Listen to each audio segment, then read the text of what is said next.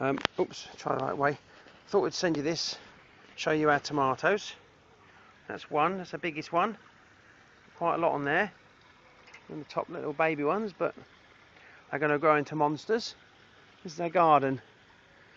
The house, as you can see, goes right the way back. It's quite a big garden. Seating area. A fishy pond, so if you can see the fish. Sinking now as I've come across. They come up when they feed, like piranhas when you feed them. Probably because we don't feed them often enough. This is our vegetable garden. Yeah, vegetable table, yeah. and we got, um, I'll show you the courgettes. Sharon's going to show you her courgettes. My courgette. This is her courgette. She says that's L'autre courgette. that's my one My courgette. and the big one. I know which one she prefers.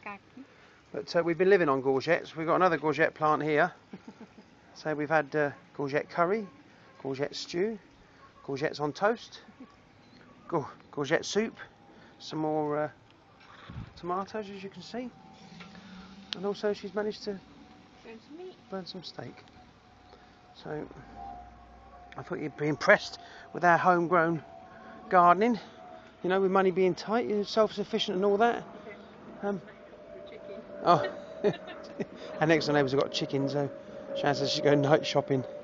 So it's alright because we went to see Jamie and Jessica, her mother, used to live up the mountains. They used to kill all manner of things, and they, they he'll go and shoot pigeons, and she'll strip them and prepare them and cook them. They have pigeon pie and uh, rabbits and all that sort of thing. So we might take her a couple of chickens, see if she can help us, because I'm not sure I can fancy doing that anymore.